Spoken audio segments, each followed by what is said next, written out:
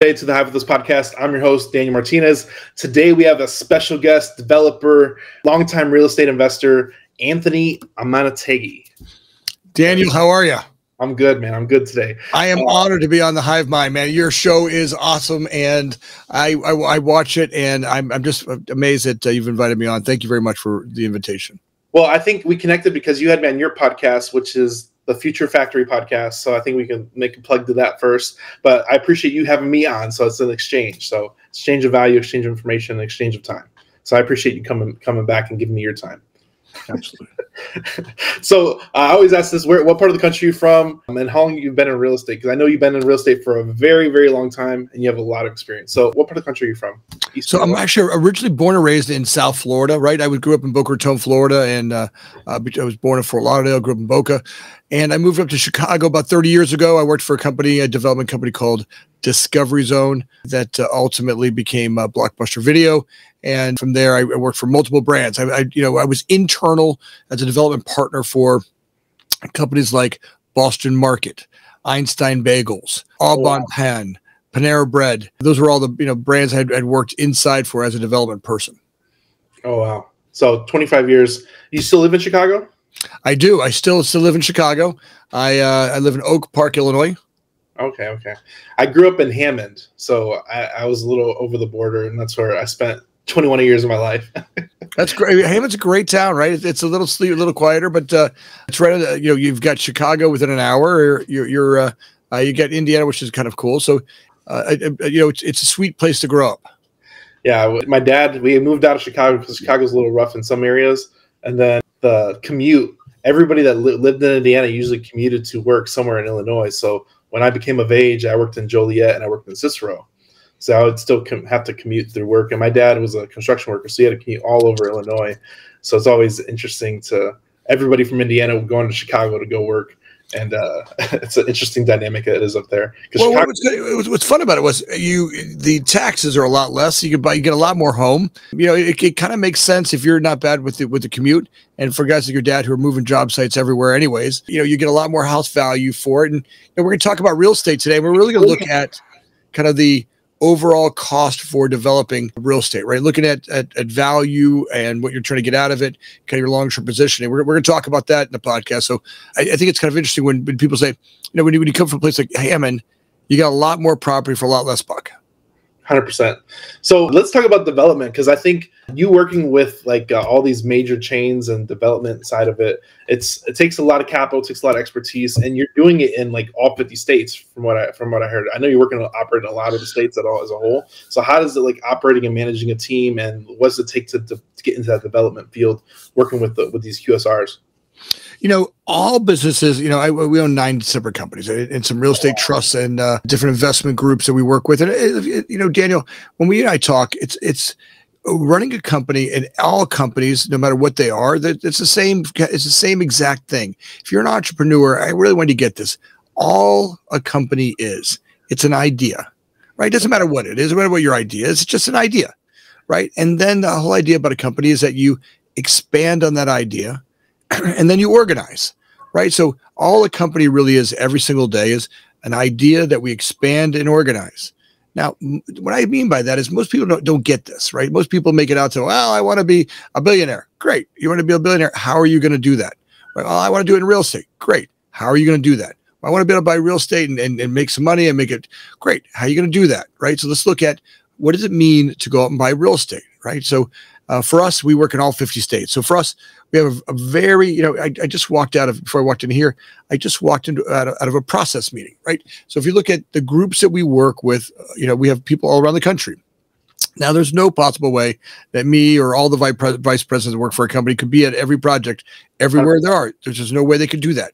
Daniel, they would they would go insane. In, in fact, we've tried, and it's very it's not very effective, right? You know, you're you try to go everywhere and be everything everybody, you, you can't. So the idea is that we really got to spend a lot of time in developing processes and have it to a point where everybody, the idea of what we're doing here at corporate headquarters is translated over to each and every team, right? And each and every team, it recreates it just like we do here, right? So that the way that we think about property, the process that we follow to make sure the property is a, is a deal worth us doing, that that process is the same no matter where we go. It's not reinterpreted a different way, and that we don't change the patterns by which we execute for success. Right. Yeah. So if, if we look at it, and we were, you know, we're always looking at how do we organize and, and train to the nth degree so that our idea, uh, our process, and what we're trying to achieve here is the same over there, not reinterpreted in a different way. Gotcha. Show is sponsored by HiveMind CRM. It is more than just a CRM. It is a real estate and business mastermind that comes with an all in one CRM. You can have unlimited websites and users. You can call, text, RVM, and email all in one user interface. And you can set up custom automations for any type and multiple businesses. 65% of companies start using a CRM system within the first five years of business. Once implemented, the HiveMind will save you on marketing, give you more time, and make more money. One of our users had his first $100,000 month using our system in June. We want to see you automate and accelerate your business. Text us at 210-972-1842 for future meetings and of course to get our $1 course on how to make more than six figures on one land deal. You can schedule your free demo today at hivemindcrm.io. How do you hire good people? Well, there's there there's there's a you know magic wand. I would just tell you that we we've, hired a couple of, of, of of witches and they just use magic wands. No, I'm kidding. You know, it, it's uh that's a trick, right? Because uh, with that, you know, if, it goes back to setting up the process. And I, I think if you look at everything that we do as a company, as we look at our organization, right, trying to figure out what is the role that people are going to do. Now, ultimately, you got to know, you know, we've messed up more people. We've we've hired more great people and messed them up because we we're not crystal clear about what they're going to do. In fact, I would tell you that when I first started the company, I didn't even know what. Look, we were organizing. Right when, when, when I started CDO Group, there was no such thing as outsourced construction management. There was no such thing you know, 25 years, 26 years ago, there was no outsourced construction management company. There was none. You, you, you I would call, you know, I, I, had worked for all these brands and I realized that I kept working myself out of a job, right? Every time I'd go build a new chain or go build a new thing. And every once in a while, I, would get that knock at my door. My boss would come in and go, Anthony, sit down. And they all kind of get that same look in their face. Look, nothing you've done wrong, but we're going to have to let you go. What, what, what? I just worked my ass off for you for the last years, whatever that was. And now you're going to let me go? Well, yeah, we're not going to build anymore. The brand's, you know, kind of made its backs, you know, we're not going to grow. It's, we've kind of got to, great. I got that. And one day I realized, okay, I love doing development. I love doing the deal. I love looking for sites. I love lo- uh, negotiating entitlements. I love negotiating the deal. I love going through the process. There's a passion I have for yeah. taking dirt or taking a property and reinvesting, as you do, right? When you and I talk, I can really hear your passion in the development deals that you do right? When I listen to your podcast, the people that are on your podcast really are up to developing amazing properties. Yeah. Right now, the question becomes is, all right, how do I do the same thing for multiple companies? And that's where CDO started. CDO group was really uh, uh, designed under two two words, uh, two uh, kind of a double plan words. It was chief development officer, right? Kind of everything that fell under the chief development officer's uh, role for a company, like uh, Boston Market, or Einstein Bagels, or, or Discovery Zone, whatever that person's role was, right? The chief development officer, that team would be underneath them. That's what CDO is going to do on an outsourcing basis. You pay us a fee, and we'll do that work for you.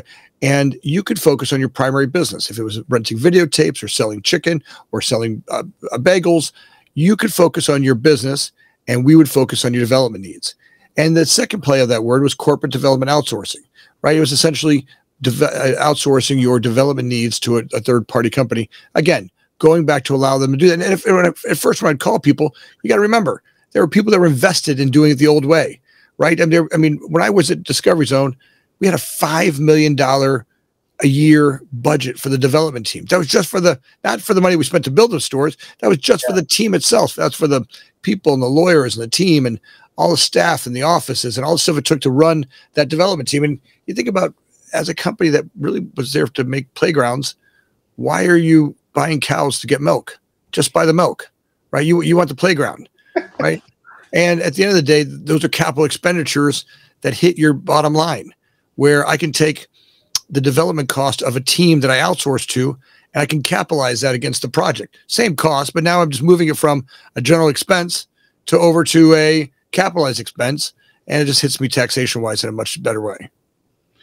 That is amazing. I so you are operating as a third party for these large corporations, and you work with a lot of them to facilitate the the building of their units and buildings to grow their operation, and they don't have to necessarily have to hire and build that internally. That's right. So so for us, Woo. when you're when you're doing brands, right? When you're building brands, for me, it's always the same thing, right? As we look at real estate and we look at a brand that says, "Hey, I want to, I would like to build 100 new locations this year," right? For us, there's a process by which we do that, and it doesn't matter if we're going to build 100 dog houses or we're going to build 100 skyscrapers. The process that we follow is always the same. Now, if you understand something about most real estate people, they show up like cowboys. Same thing with construction people right? Real estate and construction people for hundreds, maybe even thousands of years now have showed up at their projects like cowboys. And if you're a well seasoned uh, real estate expert, maybe you can sit there and, and, and you know, pull guns from your hip and, and play cowboy, right? Yeah. You have a shot at that. But the truth is, if you get a win, you don't deserve it. You, you may get it, but you don't really deserve it, right? If we don't follow a process, right, a proven process that takes us through the looking at the prop how do we go and look for property to begin with right what's the property we look for right so I, will give you some examples a little bit right the, the number you know when, when i look at a real estate deal let's say that we're building today i'm building i was in a meeting with panda earlier today right we're building pandas all around the country right it, the i can go and, and squeeze an electrician a plumber an hvac person i might be able to squeeze them for a couple percent here or there right to save some money on, on negotiating a bid but yeah. when i save them thousands of dollars is when I go negotiate for a better delivery of the property. If it's a ground up building, where are all my utilities coming from? Right? Where's my sewer, water, gas, electric? Right? What what, what am I entitlement process? Am I going to go through hearing after hearing? Am I going to? Where's the soil at? What's going on with the property itself? Is this site already pad ready? right? In other words, is all the development work done on there? Do I have to raise or lower it? Right? That could be hundreds of thousands of dollars in development cost. And how I get the how I get the, the dirt or how I get if it's an interior build out like I'm, we're building one it's in, in a shopping mall, right? I get what's called a landlord work letter, right? And you know a lot of times when you're going to rent a space as a let's say you're a, a, a sandwich shop or let's say Daniel, you and I decide that we want to build the world's best sub shop. Daniel, you've got the world's best bread. You you you you've got a recipe that's been handed down from your your your grandmother and her grandmother. It's the kind of bread that when you're done, you lick your fingers because you touched the bread. Right, right, right, right. Can we can you imagine that? Like, like that's the bread. That's how good that bread is, right? Yeah. And I have the best cold cuts, and I'm, I'm I think I can do customer service really well. And together, we're gonna put them together. We're gonna make Daniel and Anthony's greatest greatest sandwich shop ever created on the planet, right? We're that's we, we've got an idea, right? And yeah. as we go to look for locations to put Daniel and Anthony's best uh, shop, there's a couple things that we're looking for. Number one, we want to find the best place to put it based on what's in the market area, right? So we would do what's called a trade area analysis, right? We don't want to go because look, every broker I've ever met when I tell them I want to build Daniel and Anthony's uh, perfect, uh, greatest sandwich shop ever created, what are they going to tell you? They've got the perfect location in their in their uh, MLS. They've they've they've got your perfect location. They know that you they've got your perfect location, right? Because okay. what, what do they want? What do they get out of it? So this this would based off like foot, a trade area analysis would provide like foot traffic, car count. It provide those demographics, population density, population within walking distance it might do all that stuff. That's right. That's ex- exactly. In fact, I'm going to tell you what's coming to us now, where AI is really going to bring the the real estate world. It's okay. going to blow us all away. Right here, imagine when I was a kid, you would sit on a corner and you'd have like one stop, uh, one counter that would count cars driving by, and the other one would have people walking by, and you might have something for where's the hospitals, where's the churches, where's the schools, where's the offices? You might create a little algorithm on a spreadsheet and you might have 15 or 18 or let's say 25 characteristics of a marketplace. Mm-hmm. and that would give you your best idea to build paint a picture of what that development site uh, will perform right based on those 25 characteristics well just imagine what's about to come to us is 10,000x that number. Right? Imagine AI can now bring together all of the cell phone records and travel counts and soccer games and and hot, uh, um, uh, parades and, and, and start to know a, a, demographic so good that we could never we, we we could we would look at the algorithm and not even be able to understand it right imagine that the demographic model that's coming to us will give you when people are going, what what kind of people are there, what are the people that go by there, how to get how to communicate with those people, right? Because up until now, if you wanted to market Daniel and Anthony's a sandwich shop, we had to market to 100% of all the people, right? Mm-hmm. We had to go on, on, TV, we had to go, right? And it costs us a lot of money for maybe, let's say there's only 3% of the mar- marketplace that will go eat Daniel and Anthony. They eat subs, maybe 3%, you know, maybe say, let's say it's 10% of the marketplace eat subs. The other 90% could give, give a crap about subs right? They're, yeah. they're, they're, not going to get a shot with them. But our goal is to figure out where are the people, where's that 10% of people that want it? Now, the problem is I got to market to 100% of the people to do that. But what's coming today with social media and social media impact is I can start to model people in a much smarter way. Now I can take my advertising dollars and go to the people that will eat subs. Right? You know, it might be moms that are on their way to a soccer game. It might be it might be dads on, a, on the way to work or or uh, on the way home. It might be moms uh, that are that are you know coming home from the boardroom and they want to get the board. Uh, you know they're going to work late tonight, and their board meeting might go a little late, and they might decide tonight we're going to get some subs for the board meeting or whatever whatever they're doing. Right today, the amount of information that we're going to have on each and every human being. It's getting a lot smarter than ever before, and artificial intelligence will help us market to those people a lot better than ever before. At the same time, it'll be able to look at the demographic modeling and what's happening in that marketplace with other people that are selling subs, right? How they're performing. Right? It'll also help you look at what's your availability for human beings to come work for you, right? Nothing worse than going to marketplaces where you can't remember where you, where you grew up. It was hard to find great employees there because the marketplace was so small. Yeah. Right. And a lot of times they had to go to bottom feed to find employees that really didn't perform very well. Right. Imagine being able to look at markets and go, yeah, maybe you don't want to go here.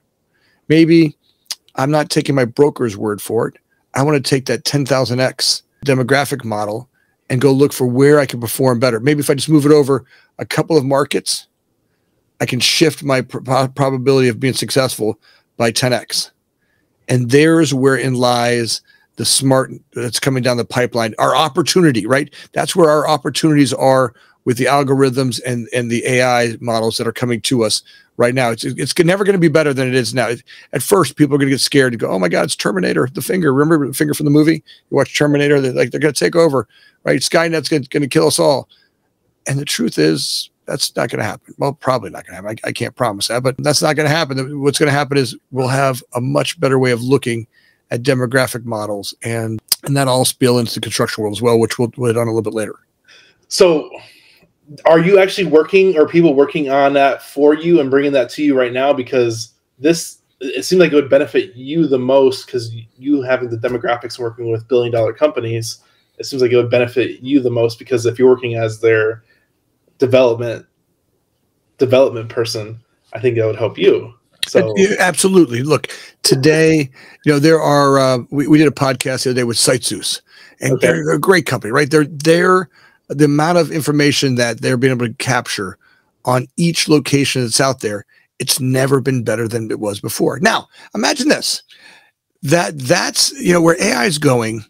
That, that's that's where real estate starts, right? We start to learn that with blockchain technology, we're going to be able to capture all the information about a piece of property, right, and keep it with the property. Up until now, you know, every time we went and developed a piece of property, we'd go build the property, right? We'd go find it, we'd start the entitlement process, we do a set of uh, civil drawings, we do architectural drawings, we do our engineering drawings, and then we build it and we take all that information that we gathered and we put it in some shelf somewhere and we forget that it ever existed.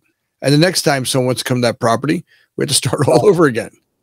Oh. Right. Right. And then and and we never keep the information with it. Well, what's about to happen is we're smart to implement blockchain technology into every property.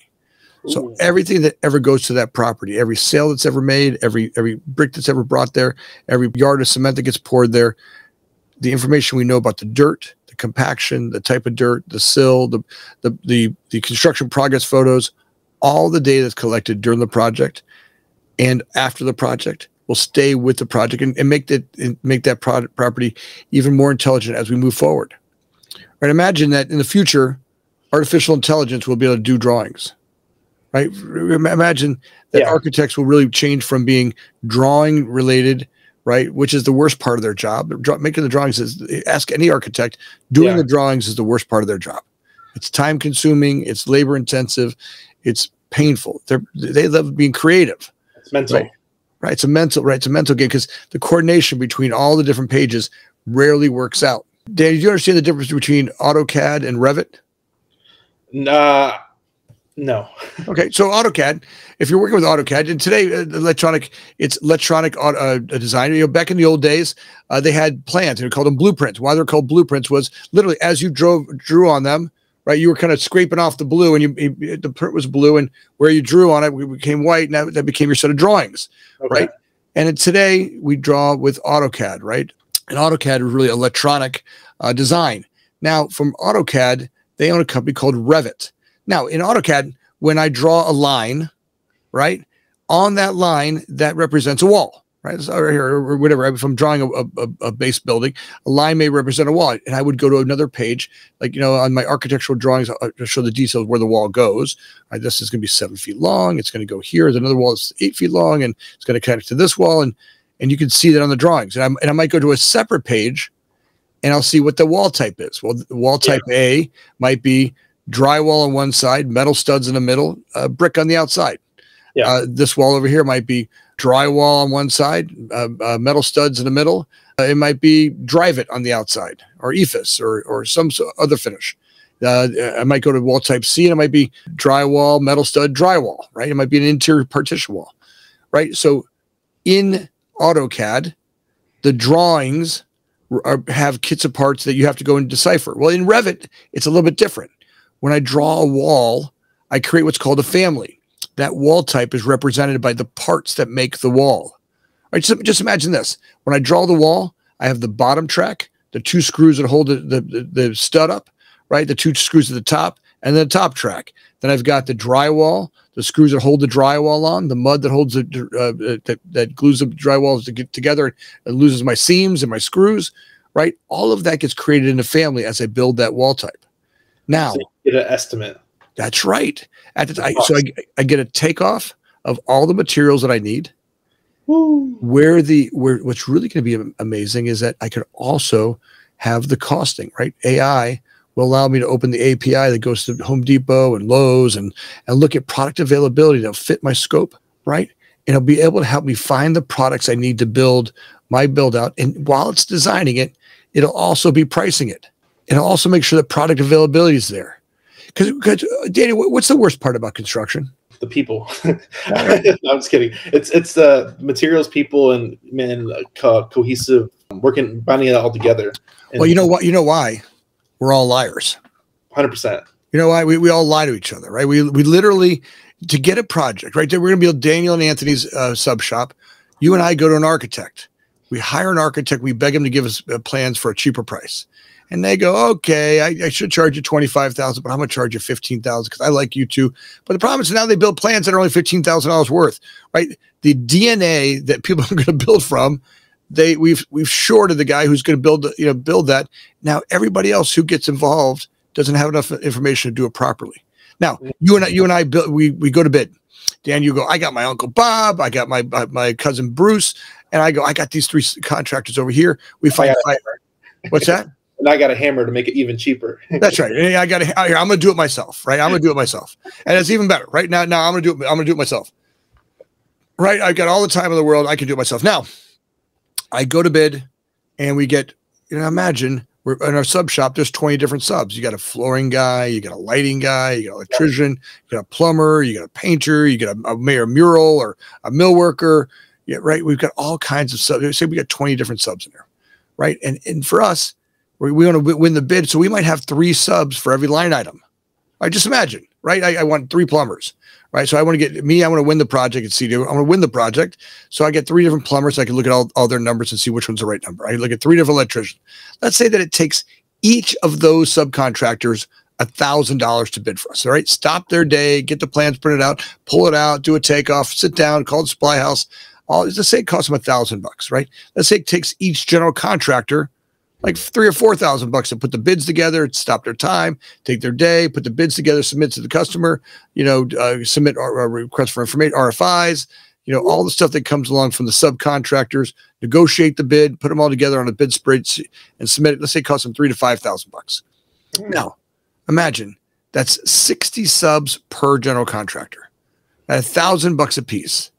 That's sixty thousand dollars times five contractors that we bid to, right? That's three hundred thousand dollars in work that the industry got sucked out of it, and no one's won a job yet.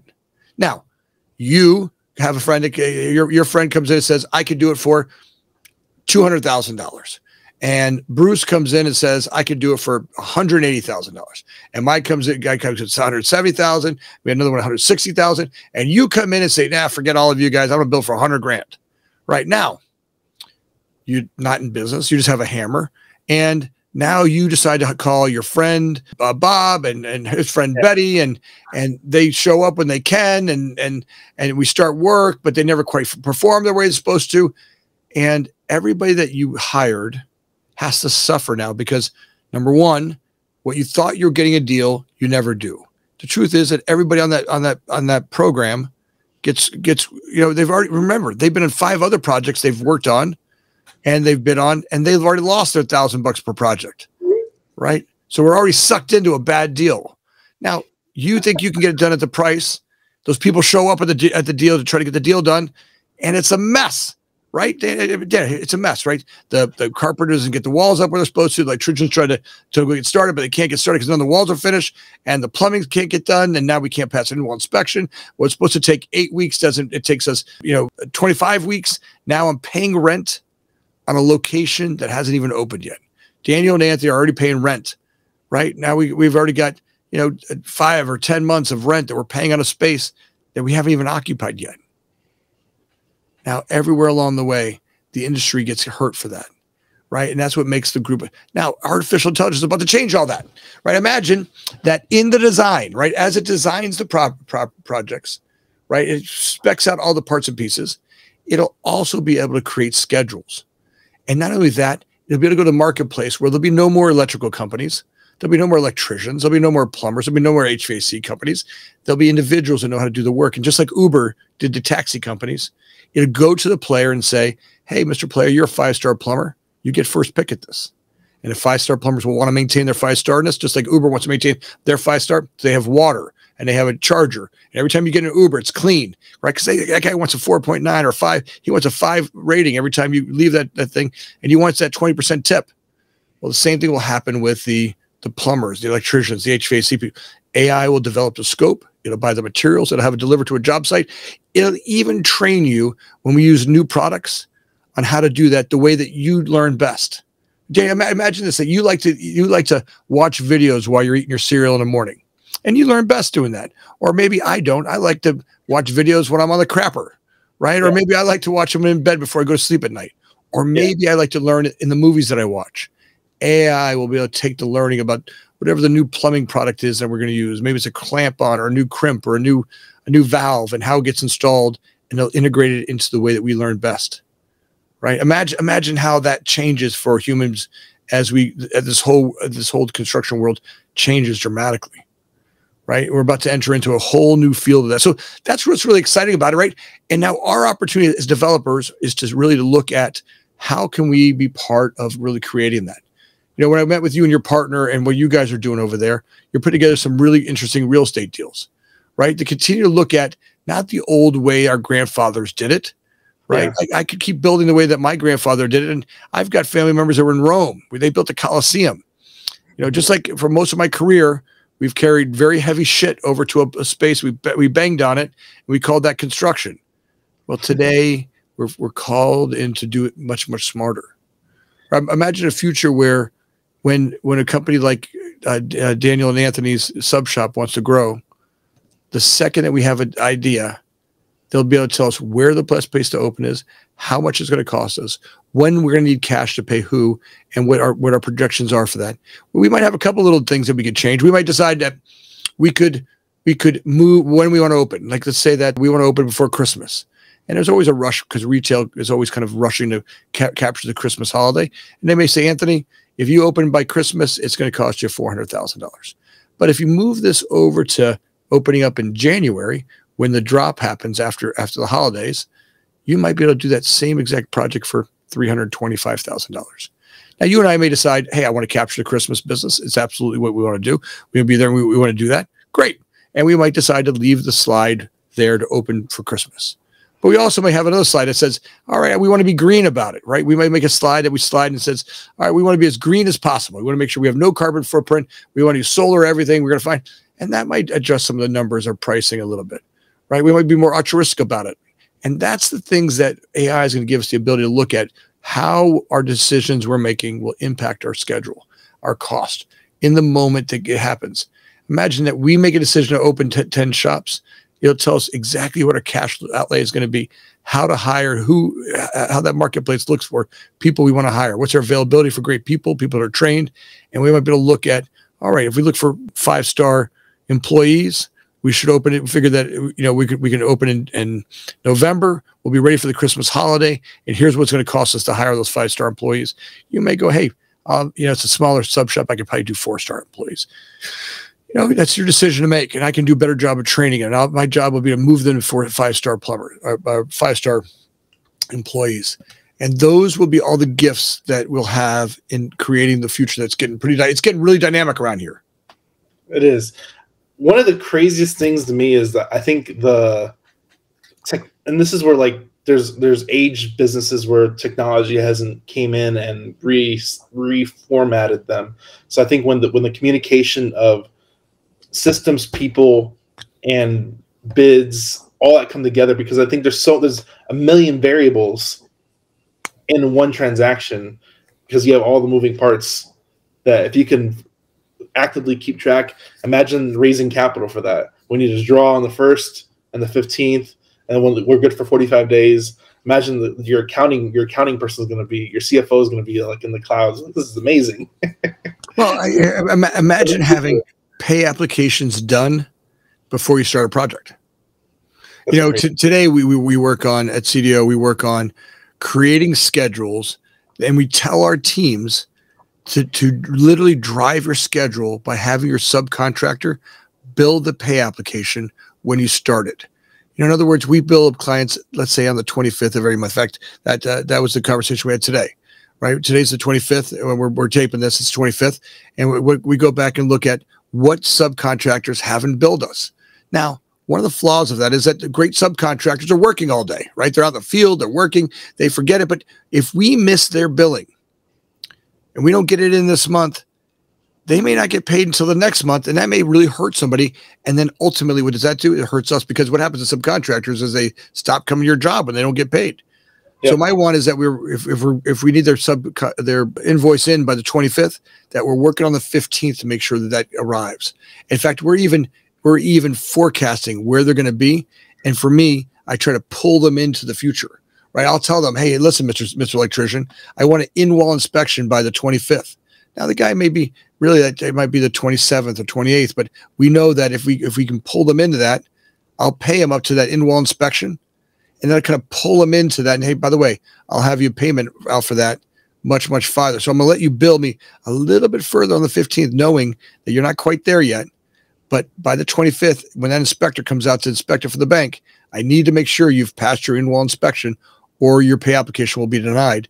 I, what I actually end up doing is I end up pulling a subcontractor into a future that gets created, right? Rather than pushing them out of get it done or I'm going to hate you, right? That really works when I pull them into, hey, by the way, you're going to get paid up until here. I just need that inspector show up and see that you got your in-wall inspection, right? It's a it, it pulls them into a future that's exciting rather than pushing them out of fear. but Like, hey, if I don't get it done, you're gonna, I'm never going to use you again, or you know, all that fear-based stuff that we've always done when we were the kind of lower lower me uh, when, I, when I'm when I'm building, you know, building great relationships with subcontractors. I love for everybody you're listening to that, I hope you took notes because I think that's that's your experience talking. Because I think a lot of people play that play that game, and you're just burning relationships. And I think the business is built off relationships, and I think you're incentivizing people to complete the job in a timely manner, and paying them for it. So it's a win-win situation. So you, you actually can hit your deadlines because you have a job to do. That's right. All the brands we work with, we tell them this every day. Look, you want us to be successful. You can't mess around with payments. You know, yep. uh, we, I, this morning I got a, I got an offer from a client uh, to for a hundred thousand dollar bonus. Right this morning, he said we'll give you a hundred thousand dollar bonus if you open our store by Thanksgiving. Right, we have 121 days from today to open that store, ground up building. Right, yep. and we literally put. We're, this morning we we're putting the silt fence in to start doing the outline of it. 121 days. Now, that's a really, really aggressive schedule for a ground up building in today's environment, right? Yeah. That's weather, nights and weekends. That's going to take some work from the team to really develop that. Now, in order for that to be really successful, right, I sat down with the team today. We can't miss a day, right? So most construction projects, we get awarded, people get awarded projects, and they spend the next three or four, it, it may even take a month before they even get all the contracts is- issued. And that can't happen when you have 121 days, right? You need to get all of your subs lined up and we need to make sure that all of them can see the vision of what we're doing, right? You, to ask a subcontractor to come work a weekend, right? When you, when you, when you're sitting on Thursday and, or Friday, and you're saying, hey, I need you to work this weekend. That's too late, right? Subcontractors have families and, and jobs and picnics to go to and family get togethers. But if you say to them, when you're bidding the project, hey, this is going to be a seven day a week project. I need you to have the team and staff on board to make that happen seven days a week, right? They can start to plan and they can figure out, hey, Bob's got this weekend, Betty's got next weekend, Bruce has got the following weekend, right? And we can spread the load out over our team and we can keep that project going as committed for CBO Group, right? A much different way of looking at it. It's not the old days when, when two guys sat out there like cowboys shooting from the hip you got to you know most of our decision logic has got to move to the front of the of the project. And that's what's really going to help us with artificial intelligence like like revit right? When, when you build in revit right since it's a 3d model you can't do the next segment unless the first one's right. In other words you can't build a wall that that, that intersects into another wall because the model will bump into each other mm-hmm. right? And what you're doing is you're taking that information that we used to figure out in the field, right? Most of us sat in the field and solved all the problems in the field. Yep. What we're trying to do now is move that information back to the boardroom or back to the estimating room, right? So we can see that information.